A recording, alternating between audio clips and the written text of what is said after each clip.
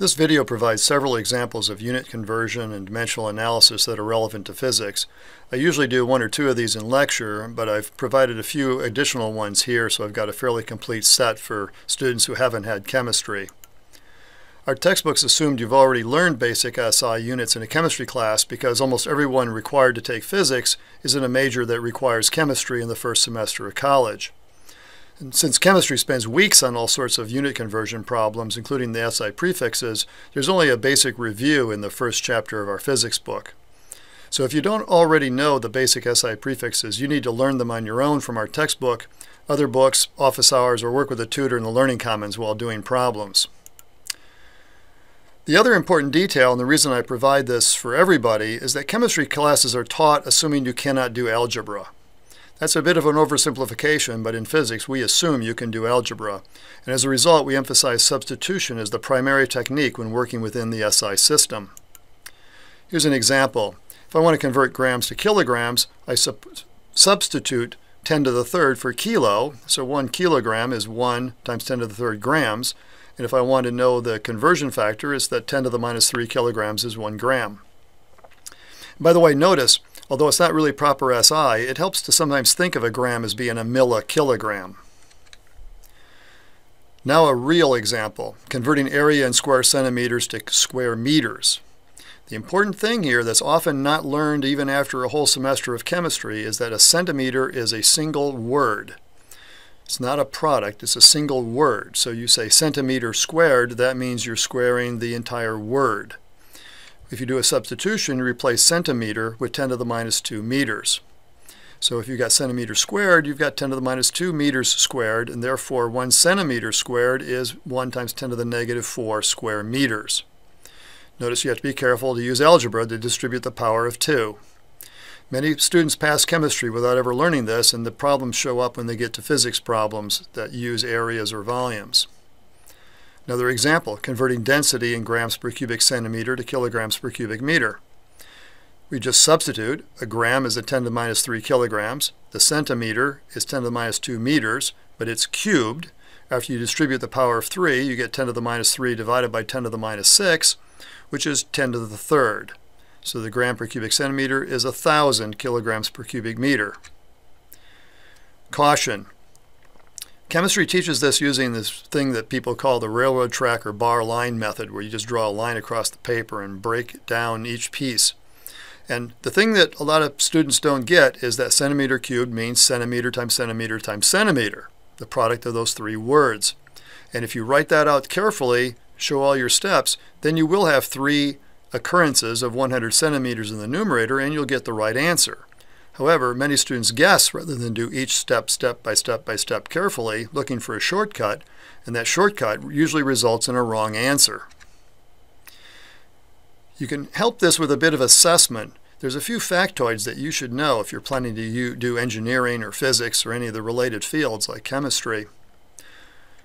1,000 kilograms is called a ton, spelled in a sort of French style, T-O-N-N-E.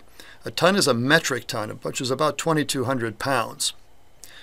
When you do the conversions, you find that because a liter is exactly a factor of a thousand cubic centimeters and one thousandth of a cubic meter, that one gram per cubic centimeter is a kilogram per liter and a ton per cubic meter.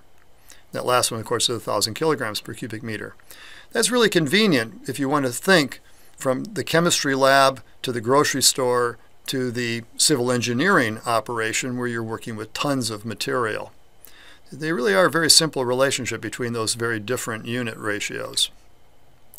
Another example, kilometers per hour to meters per second. This is again just substitution. Kilometer is 1,000 meters, an hour is 3,600 seconds, so replace each of those and we get that 1 kilometer per hour is 1 over 3.6 meters per second. Or a meter per second is 3.6 kilometers per hour. That result, that when you get 1,000 over 3,600, that that is equivalent to dividing by 3.6, is a shortcut that I would allow you to use in class. You should quickly learn that you can convert kilometers per hour to meters per second by dividing by 3.6. But when in doubt, check it by doing each step. Miles per hour to meters per second isn't really strictly speaking within SI, but it's something that we encounter a lot in everyday type of uh, problems in physics. A mile per hour is, of course, 5,280 feet for a mile divided by 3,600 seconds, but that's not yet in meters.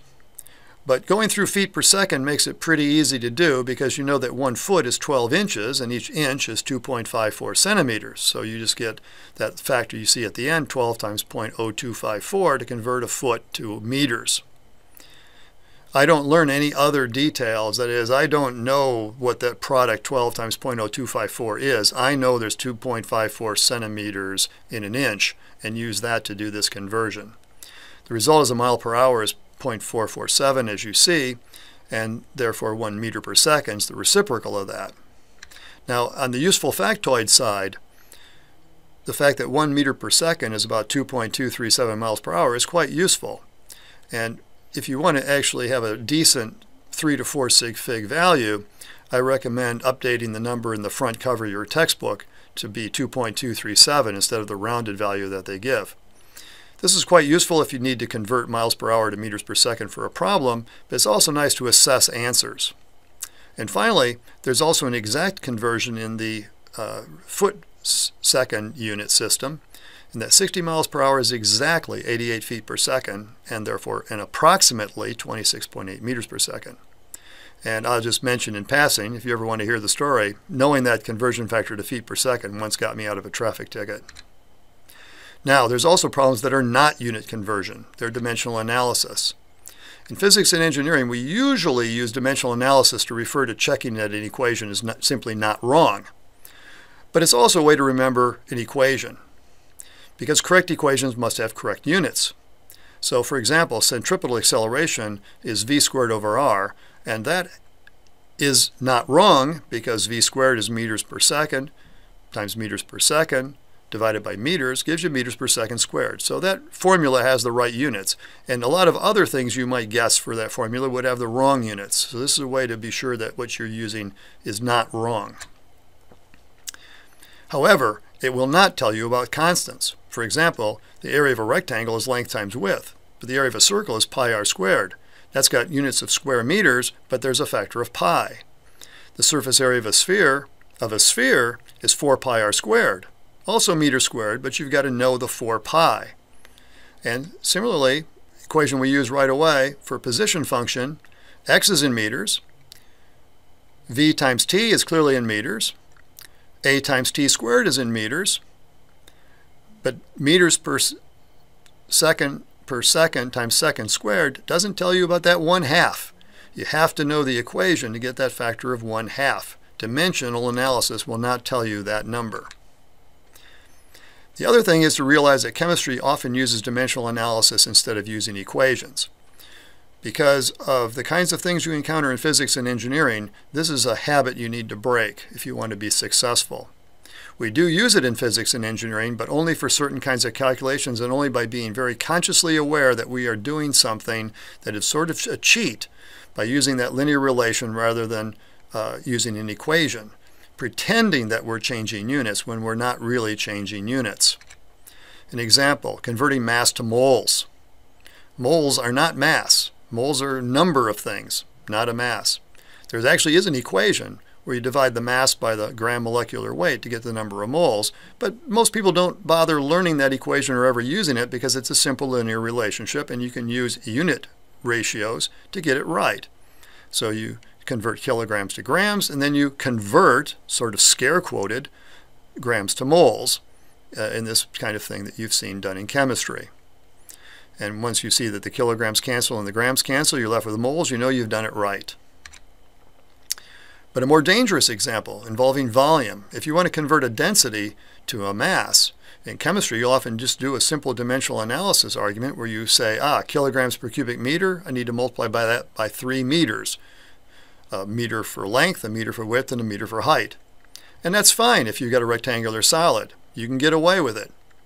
But don't do that in physics. You need to break that habit for real because volumes are not just length times width times height. There are lots of other volumes out there. If you have a hollow cylinder, the formula for that is pi times the quantity, r2 squared minus r1 squared, close paren times the height, where R2 is the outside radius and R1 is the inside radius. If you want to get anything that resembles a correct answer, you've got to start with the equation for the volume of a hollow cylinder, period, end of story. If you guess it needs to be R1 times R2 times H, because each of those things are in meters, you're going to get a ridiculously wrong answer. You must start with an equation, rho times V, where rho is the density and volume is whatever the volume needs to be, where you use your brain, algebra, and geometry to get the right result. Okay, so now if any of this is new to you, if any of it is new to you, pay particular attention to units in class and your homework and ask questions when it, questions show up. Also realize that tutors in Learning Commons deal with this all the time for chemistry so they can help you a lot with this particular subject. You don't need a physics tutor to uh, help you with this kind of topic. I don't have you do messy uh, conversions, but you will have to do this on some problems in my class and definitely on engineering exams.